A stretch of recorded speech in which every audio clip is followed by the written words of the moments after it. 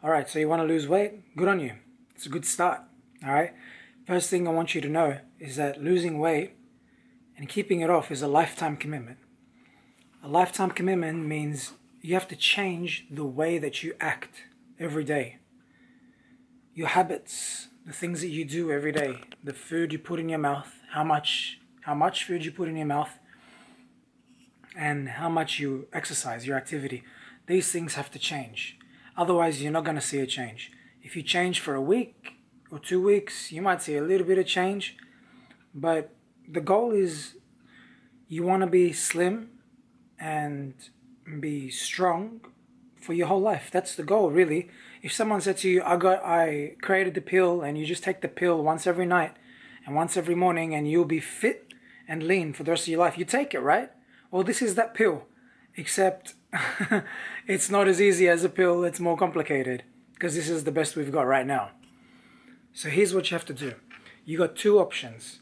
Okay, you got either your diet or your activity, exercise.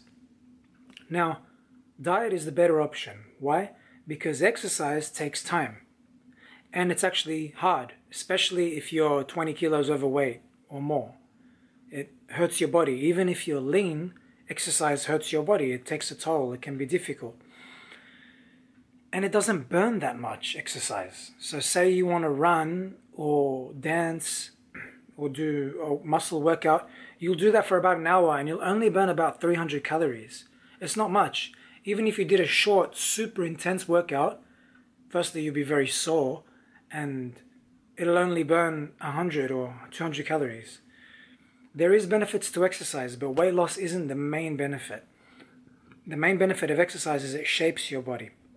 Now, why should you use diet?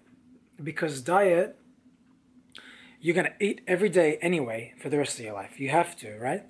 So all you need to do is learn how much you need to eat and what you need to eat. Now, what you can do, you can eat exactly what you're eating right now. Here's the first option, okay, within uh, diet not exercise. We already talked about exercise. We'll just leave that for now. We'll focus on diet.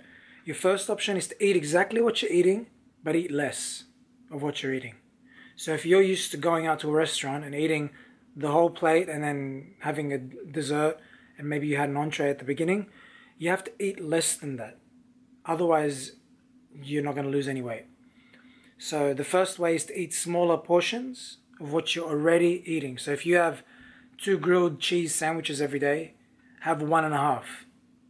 And then a, a few weeks later, have one. If you eat like the same thing, the same kind of foods every week that you're eating, have less of those same foods. Now, the second way is to substitute foods. So that means changing the foods you already eat. Now, what's the point of changing foods? Well, health, because different foods make you feel different and lower your chances of disease. And volume. Some foods fill you up more because they take up more space in your stomach because they're full of fiber and water. Now, food substitutions, so you could be like, instead of eating half of your plate meat, you might decide to eat, uh, instead of meat, you have rice because rice is not as dense as meat. So you replace half of your meat with rice. Now, I'm vegan and so I don't eat meat, but whatever I eat, it still applies, right? If I had beans, or nuts or something like that or some chocolate or whatever it can be replaced with something else if you're trying to lose weight.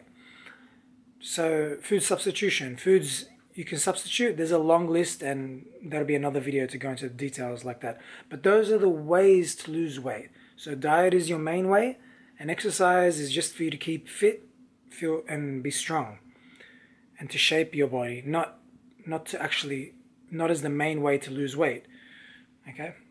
Hope this video helps. Yeah.